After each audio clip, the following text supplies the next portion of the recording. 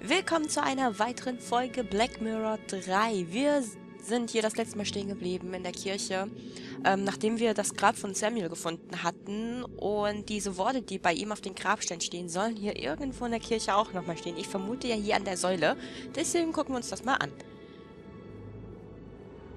Weil schließlich glaubt irgendwer an uns, gibt uns irgendwelche Hinweise und da wir sonst keinen Hinweis an dem Grab von Samuel gefunden haben, helfen uns vielleicht nur diese Worte. Der Spruch vom Grab meines Vaters ist dabei. Das Lamm Gottes von Johannes, meinte der Pfarrer. Ha, ein Geheimfach.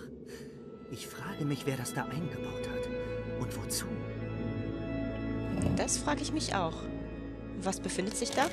Eine Nachricht, eine Nachricht, schön. Nachrichten sind Jetzt super. wird es interessant. Oh ja, es wurde auch schon vorher interessant, keine Sorge. Wenn du nicht dasselbe Schicksal wie dein Vater erleiden willst, musst du über alles schweigen, was dir von nun an widerfährt. Niemand darf von dem Geheimnis erfahren, das am Ende deines Weges steht. Doch du stehst erst am Anfang. Und zuerst gilt es, deine Unschuld zu beweisen. Wenn du alle Aufgaben erfüllst, die ich dir stelle, dann wird niemand mehr an deiner Unschuld zweifeln. In deiner ersten Aufgabe musst du Ausschau nach Leuten halten, die Hilfe brauchen. Ich frag mich echt, wer dahinter steckt. Ich frag mich das echt. Aufgaben erfüllen? Was soll das denn jetzt schon wieder? Das ist doch sicher wieder eine dieser kranken Ideen von Murray. Mhm. Na gut, ich spiele mit. Vielleicht kann ich ihm ja etwas die Suppe versalzen. Ich frag mich echt, wer das ist. Nach Leuten Ausschau halten, die Hilfe brauchen. Braucht irgendwer meine Hilfe? Hallo? Warum läufst du gerade so komisch? Brauchst du meine Hilfe, Ich lasse Totengräber? ihm vorerst seine Okay, Ruhe. Totengräber braucht nicht meine Hilfe. Ähm... Wir könnten meine Hilfe gebrauchen. Ich weiß es nicht.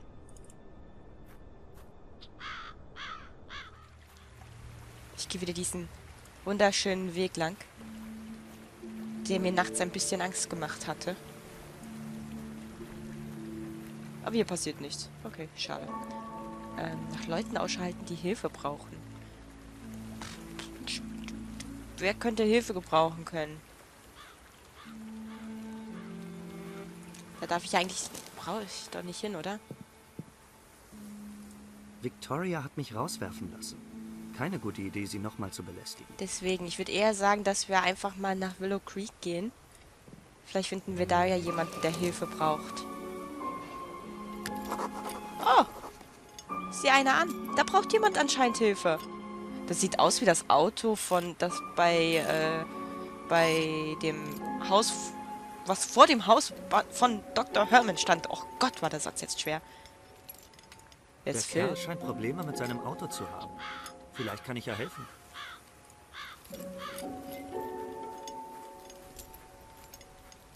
Sieht echt wie das Auto aus.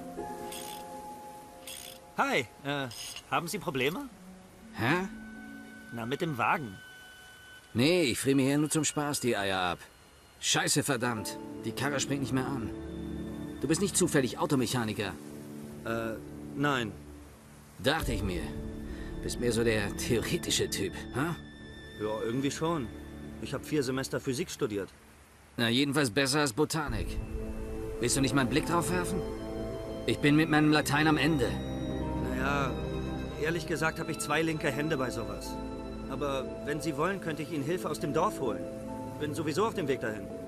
Na schön, dann geh am Pub vorbei und sag Tom Bescheid. Sag ihm, Phils Karre streikt mal wieder. Dann weiß er schon, was los ist. Ach so, Tom. Und wenn er nicht da ist? Scheiß der Bär in den Wald? Na klar ist er da. Das könnte aber dauern. Vielleicht versuche ich es doch mal. Werd schon nichts kaputt machen. Von mir aus. Oh Mann. Nur zu. Schon wieder dürfen wir in einem Sp äh, Spiel Automechaniker sein. Oder generell was reparieren oder wie. Ich unterhalte mich erstmal. Erstmal mit. Kommen Sie aus Willow Creek? Ihm, genau. Wie kommst du denn da drauf? Na, weil Sie Tom kennen. Nein, ich bin nicht von hier. Hast du den Fehler schon gefunden? Wie alt ist denn dieser Wagen? Hier gibt's ja mehr Rost als Motor. Keine Ahnung. Bis jetzt ist er jedenfalls immer wieder angesprungen. Mhm. Vermutlich war er schon am D-Day im Einsatz. Wie geht's eigentlich Ralph? Ralph? Ähm, kenn ich nicht. Achso, ich dachte, Sie hätten ihn vielleicht getroffen. Wieso das? Na, ich dachte, er treibt sich beim alten Anwesen rum und weil doch heute Morgen Ihr Auto dort stand. Hätte ja sein können, dass Sie ihn gesehen haben. Ist eine üble Absteiger, aber wahrscheinlich immer noch besser als gar kein Dach überm Kopf. Ah, ich glaube, das muss es sein. Hier ist ein Kabel abgefallen.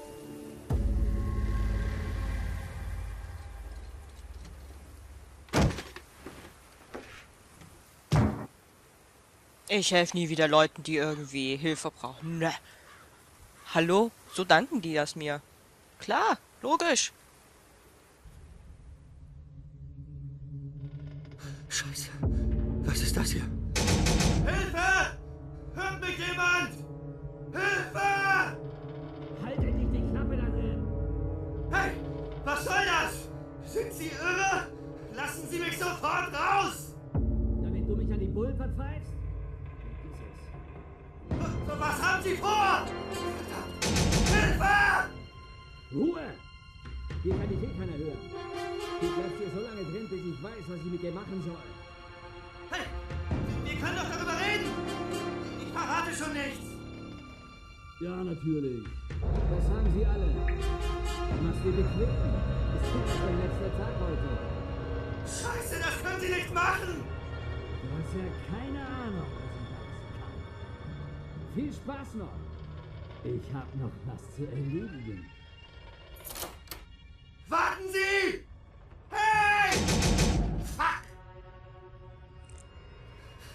Mir nicht ganz schnell etwas einfallen lasse, um hier rauszukommen, bringt mich der Kerl noch um. Verdammt, Mordred. Jetzt könntest du mir ausnahmsweise mal helfen. Was erwartest du, dass du jetzt Bärenkräfte entwickelst und... Ich will kein Licht, ich will hier raus! Ah, dann kannst du besser sehen. Nein? Fußende? Ich da vielleicht... Ich kann ein paar Löcher erkennen, aber mehr auch nicht. Ja? Ich habe ja gesagt, ich will, dass du dir Licht machst, aber... Ich will kein Licht, ich will hier raus! No, no, no, no, no. Ähm, Seitenwand geht nicht, das geht nicht, ähm... Ja, geht alles nicht. Pech, musst jetzt da drin bleiben. Schlüssel, kann ich mir auch nicht vorstellen. Mr. Bubby, glaube ich eigentlich auch nicht.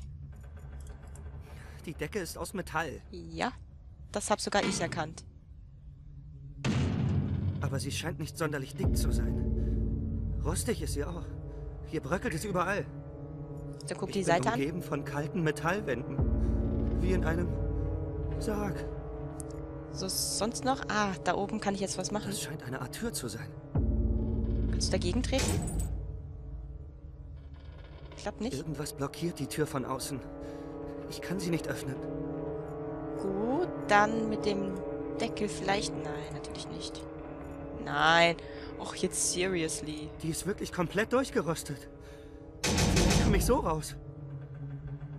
Mist. Hier ist irgendwas. Es lässt sich hin und her schieben. Ja, wenn du mal Licht ich hättest. glaube, ich weiß, wo ich mich befinde. Das muss eine von diesen Kühlkammern sein, in denen man Leichen aufbewahrt. Dann ist das da oben so eine Bahre, die man rausziehen kann. Ah. Verdammte Bahre nicht so verdammt glatt wäre, könnte ich vielleicht genug Kraft aufwenden, um sie durch die verdammte Tür zu rammen. Jetzt. Oh, seriously. Ich bastel mir einfach meinen eigenen Griff. Ich dachte vielleicht ein bisschen anrauen und dann wäre das, hätte das geklappt oder so, aber. Ja, dann macht das halt so. Igitt. Widerlich. Was ist das für ein Gestank? Ich muss hier schleunigst raus. Okay. Und jetzt mit aller Kraft. Mich würde es nicht wundern, wenn da irgendeine Leiche ist. Endlich. Und jetzt raus hier. Ach du heilige Irgendwie Scheiße, wie sieht's denn meine hier aus? Situation nicht merklich verbessert. Uiuiuiui. Was ist das für ein rotes Lämpchen? Mach das... Mach Licht an. Hier muss doch irgendwo der Lichtschalter sein.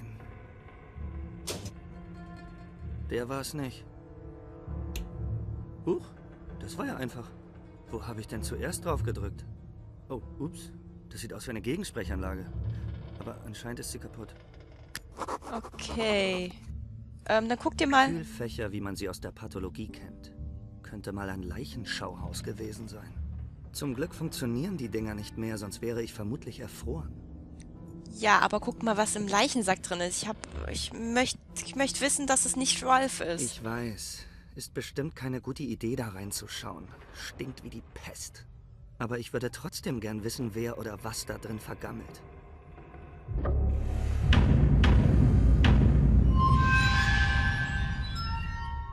Oh, oh. Darauf hätte ich verzichten können. Und da bin ich rausgeklettert. Wer war es denn? War das dieser Obdachlose? Das Fach ist auch mit einem Vorhängeschloss gesichert. Und hier gibt es auch Luftlöcher wie an meinem Fach. Scheiße. Da ist jemand drin. Ich höre wen atmen. Hallo? Hallo? Jemand da drin? Können Sie mich hören?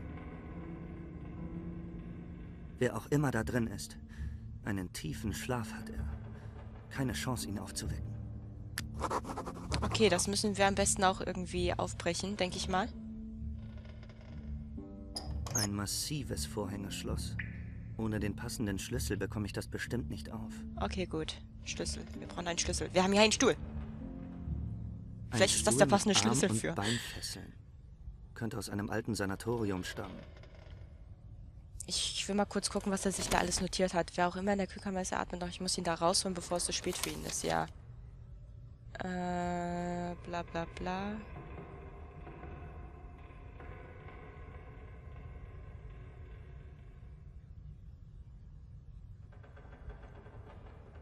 Ähm. Ja. Er hat auch die Vermutung, dass egal wer ihn auf die, die Prüfung stellt, ähm, ihn halt zu diesen Irren gelockt hat. Aber ehrlich gesagt, ich weiß es nicht. Ein Kassettenrekorder. Ob er noch funktioniert, weiß ich nicht. Das Netzkabel hat zumindest keinen Stecker mehr. Das Kabel hängt da recht unmotiviert. Kann ich mit dem Kabel irgendwas machen? Weiß ich nicht. Scheint nicht so. Ich guck mir den Schreibtisch einfach mal an. Ja, klar. Zigaretten? Filterlose Zigaretten. Wenn ich hier nicht mehr rauskomme, kann ich wenigstens mit dem Rauchen anfangen.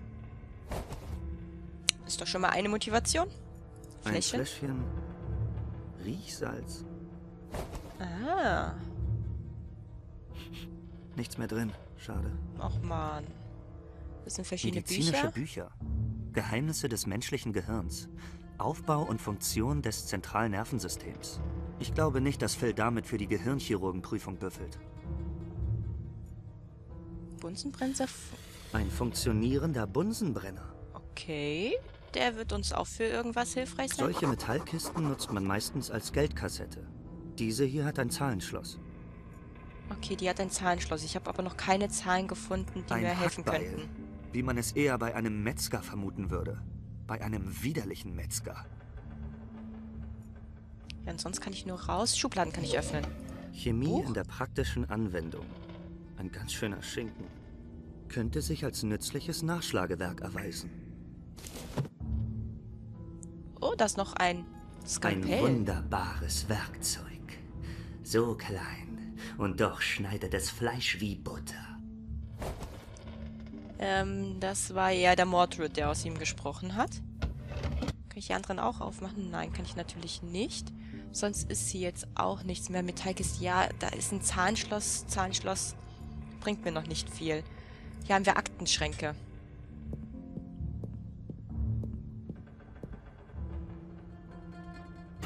Ein Stativ? Akten.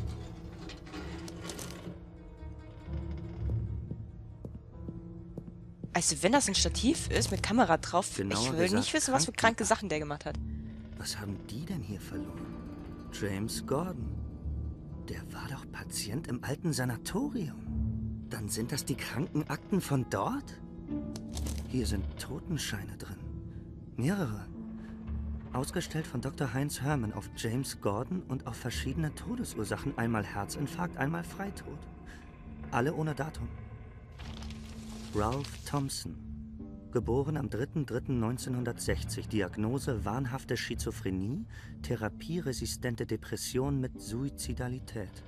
Medikation Stufe 4. Kombinationsschocktherapie. In Klammern Elektrokrampftherapie und Insulinschocktherapie. Armer Ralph. Kein Wunder, dass er verrückt ist. Und hier ein Totenschein von Ralph. Ausgestellt von Dr. Herman.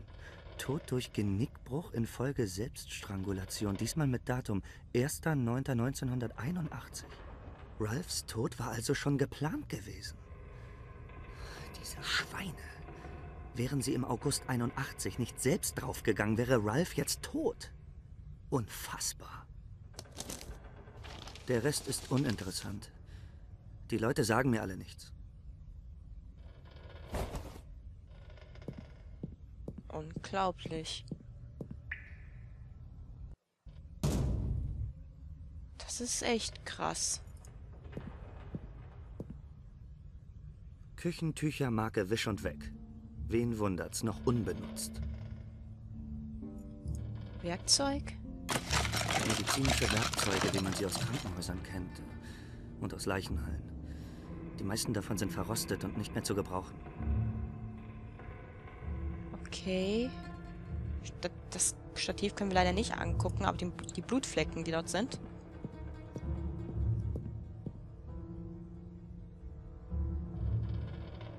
Oh, das Blut sieht noch relativ frisch aus. Noch relativ frisch. Na, toll. Auf so einem Tisch seziert man normalerweise Leichen. Normalerweise. Eine blutige Grillzange? Warum ist da eine Grillzange? Ein Projektor? Ein uralter Filmprojektor. Bin gespannt, ob der noch funktioniert.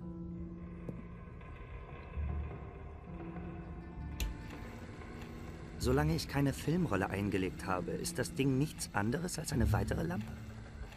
Dann mach ihn wieder aus. Okay, Tür brauche ich mir eigentlich gar nicht angucken. Weil die ist hundertprozentig zu. Geht. Ich will gar nicht wissen, was das ist. Es riecht furchtbar.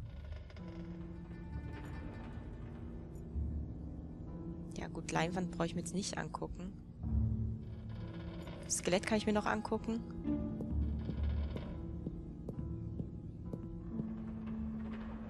Recht unpraktisch, so ein Knochengerüst. Was soll ich damit? Weiß ich nicht. Huch, der Schädel scheint nicht fest zu sein. Okay, ein Schädel kann man immer gebrauchen. Jupp, der ist lose. Also her damit. Besser zwei Köpfe als gar keinen. Und dann kann ich noch mit dem Kassettenspieler irgendwas machen, aber frag mich nicht was. Ein Chemiebuch von 1972. Vielleicht ja trotzdem nützlich. Ein leeres Fläschchen Riechsalz. Hier scheint es ja enormen Bedarf daran zu geben, Leute aus einer Ohnmacht zu wecken. Also ich weiß noch nicht, was ich mit den Sachen anstellen soll. Ich weiß es wirklich nicht. Oh, Oberschenkelknochen kann ich auch mitnehmen. Der Spruch, die Beine in die Hand nehmen, bekommt hier eine ganz neue Bedeutung.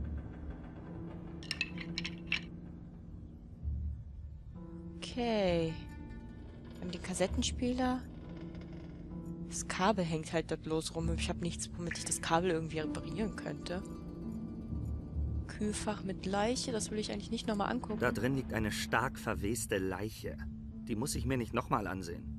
Ja, okay. Vorhängeschloss. Können wir das Vorhängeschloss nicht damit irgendwie... Da müsste ich Stunden feilen, bis ich das offen habe. Okay. Und die Zeit habe ich nicht. Wahrscheinlich ist auch ähm, der Schlüssel hier in der Kiste drinne. Oder halt im schlimmsten Fall bei dem Kerl selber. Kein Türgriff, nur ein Schlüsselloch. Ich versuche es gar nicht erst. Ich habe gehört, wie Phil abgeschlossen hat. Okay, ja, dann haben wir uns Eine gleich... alte, vergilbte Leinwand. Ja, dann haben wir uns jetzt alles... Warte, warte, nee, dann machen wir erst noch hoch. Auch wenn ich gerade den Part beenden wollte, aber egal. Das was. Kamerazubehör? Diverse Gerätschaften für Film und Fotografie. Das hier sieht aus wie ein Aufsatz für eine Kamera. Was das wohl ist? Verschiedenfarbige Folien in einem Rahmen. Man kann sie aus- und einklappen. Ja, ich denke, das ist ein Farbfilter für Kameras. Okay, das kann man auf jeden Fall wieder runter machen. Jetzt haben wir diese, diese, diese Farbfilter. Verschiedenfarbige Folien in einem Rahmen. Man kann sie aus. Okay, fragt sich nur, wie die Kamera ist, ne? Okay, okay, okay, gut. Ähm, jetzt haben wir uns soweit alles hier angesehen. Ähm, ich habe noch keine Idee, was wir machen können. Können wir den Skalpell das Schloss aufkriegen? Nein, natürlich nicht. Ähm, ja, das wird dann halt, im nächsten, in der nächsten Folge ein bisschen ausprobieren und rumprobieren sein, was wir hier machen sollen. Irgendwas sollen wir uns auf jeden Fall angucken mit den verschiedenen Filtern, irgendwas wahrscheinlich entdecken. Vielleicht auch für, äh, also etwas, was ähm, dafür sorgt, dass es äh, zeigt, dass wir unschuldig sind. Und ähm, ja, ich bin mal richtig, richtig gespannt. Und dann sehen wir uns in der nächsten Folge wieder. Bis dann, tschüss, eure Time.